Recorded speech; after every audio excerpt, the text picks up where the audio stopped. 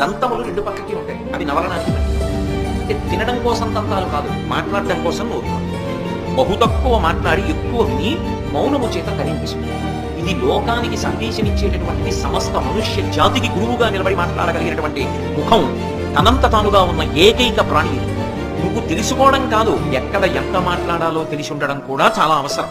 ఎక్కడ మాట్లాడుతున్నప్పుడు ఏది జ్ఞాపకం రావాలో అది రావాలి. ఎక్కడ ఎక్కువ మాట్లాడకూడదో అక్కడ మాట్లాడకుండా కూర్చోవాలి.